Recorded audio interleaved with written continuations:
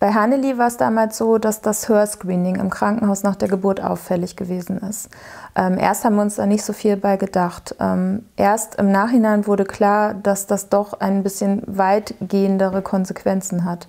Ähm, ich würde mir heute wünschen, dass mehr Eltern ähm, darauf ein wenig besser achten und wissen, warum ist dieses Hörscreening überhaupt so wichtig.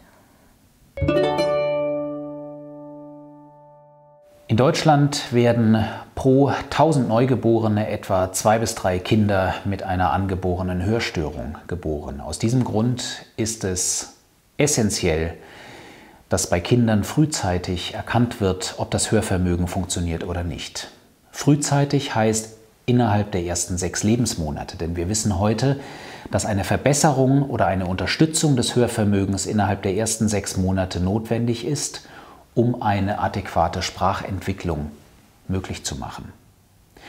Wir wissen heute, dass für die Kommunikation das Hörvermögen eigentlich das allerwichtigste Sinnesorgan ist. Nur dadurch kann sich die Sprache entwickeln, nur dadurch kann sich dann auch das sozial und das emotionale Verhalten der Kinder entwickeln. Sie haben als Eltern alleine zu Hause keine Möglichkeiten, innerhalb der ersten sechs Lebensmonate durch eigene Tests herauszufinden, ob Ihr Kind zuverlässig hört. Deswegen gibt es in Deutschland seit 2009 als gesetzliche Kassenleistung das Recht eines jeden Neugeborenen für ein Hörscreening, ein apparatives Hörscreening. Dieses Hörscreening wird in den ersten Lebenstagen in der Regel noch in der Geburtsklinik durchgeführt, manchmal auch beim niedergelassenen Kinderarzt oder Kinderärztin und wird mit einer Technik die OAE heißt, durchgeführt, otoakustische Emissionen. Das funktioniert so, dass ein kleiner, weicher Kopfhörer in den Gehörgang, meistens im Schlaf, der Säuglinge oder Neugeborenen eingeführt wird. Dann werden leise klickende Geräusche abgegeben und es wird gleichzeitig registriert, welche Geräusche dann von den Sinneszellen des Hörorgans zurückgesendet werden. Und dieser Test ist hervorragend geeignet, gibt große Sicherheit, wenn er bestanden wird. Das heißt also, wenn das Ergebnis unauffällig ist, dann können Sie sehr sicher sein, dass das Hörvermögen Ihres Kindes funktioniert. Manchmal gibt es auffällige Ergebnisse, das heißt aber nicht sofort, dass das Hörvermögen nicht funktioniert, sondern dann muss der Test erstmal wiederholt werden.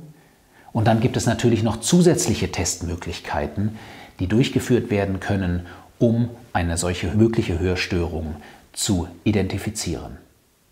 Wichtig ist das, um Kinder frühzeitig zu diagnostizieren, denn wir wissen, dass auch Kinder von wenigen Wochen Alter mit Hörgeräten versorgt eine ganz normale Sprachentwicklung aufweisen können. Ein Cochlea-Implantat bei schwerwiegenderen Hörstörungen ist ab dem ersten Lebensjahr möglich. Aber wie gesagt, Hörgeräte zur Hörunterstützung bereits bei Kindern mit wenigen Wochen Lebensalter. Insofern ist es absolut unerlässlich, dass dieses Hörscreening bei allen Kindern in Deutschland durchgeführt wird. Bei uns war es so, dass wir nach dem auffälligen Hörscreening erstmal mehrere Stellen angelaufen sind. Das waren natürlich erstmal der Kinderarzt, der HNO und diverse Kliniken. Ähm, bei Hanneli war es dann tatsächlich so, dass sie ähm, mit zwei Jahren eine mittelgradige Hörschädigung festgestellt haben sie dann auch mit Hörgeräten versorgt wurde, jedoch immer noch nicht in die Sprache fand. Ähm, für uns als Eltern war das immer noch nicht befriedigend.